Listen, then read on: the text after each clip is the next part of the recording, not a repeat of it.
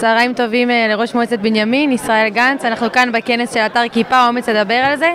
אה, ככה, מה יש לך להגיד על התחום?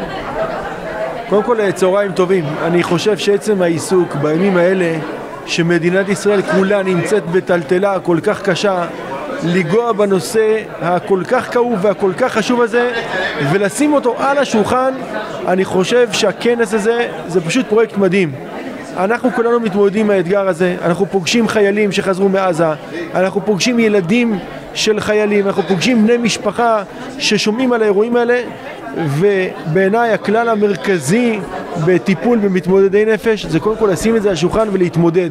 להחביא את הבעיה לא יפתור אותה, זה אתגר גדול שמדינת ישראל צריכה להתמודד איתו ואני שמח מאוד על הסנונית הזו שמבשרת את הטיפול העמוק בנושא הזה. אה, באמת כראש מועצה אז יש כל מיני ארגונים שקמים, במיוחד בציבור הדתי שזה ככה צץ בשנים האחרונות, אז אה, מה המקום שלך בתחום הזה? אה, ראשית אני חושב שהמקום המקום הזה לומר שמדינת ישראל צריכה להיכנס לנושא הזה בצורה רצינית זה שיש ארגונים זה חשוב בכל תחום, הארגונים החברתיים תמיד מוסיפים אבל מדינת ישראל אסור לה להתבסס על ארגונים חברתיים ודאי בתחום הזה אני כראש רשות מרגיש היטב את החוסר הזה של משרד הבריאות של מדינת ישראל בתחום הדבר הזה.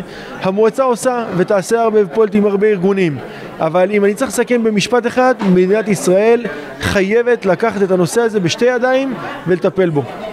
תודה רבה לך. תודה רבה, בשורות טובות.